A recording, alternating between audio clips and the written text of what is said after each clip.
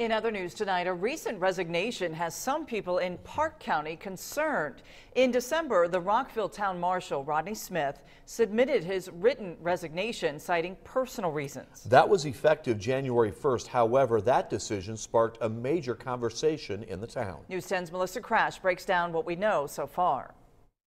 It's a flyer you may have seen around Parke County or on social media, and the people that started it say they just want answers.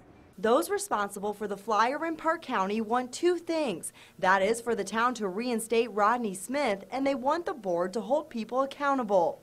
People believe Smith was unfairly pressured to put in his resignation for questionable motives. Rodney Smith was employed by the town of Rockville for more than 30 years. He's also known as the chief of police in the area.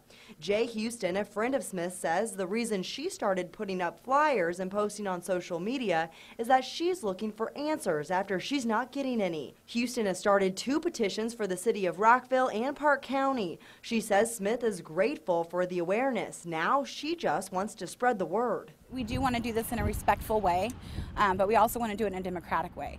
Um, we don't disrespect or we're not not non-appreciative, I guess, of the people on this council. Um, we do know they work hard for us, um, but at the same time, they have to understand that there is accountability for what they do and say. News 10 reached out to the town council president who put us in touch with the town attorney. In a statement, the attorney said the council appreciates Smith's service and wishes him well.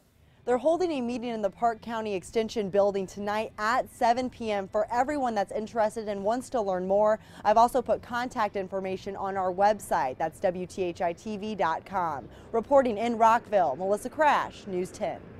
Now, again, that meeting is tonight at 7 at the Parke County Extension Building. The goal of the meeting is to come up with a plan of action. That plan will be presented at the upcoming council meeting next week. You can read the statement from the town attorney on our website, WTHITV.com.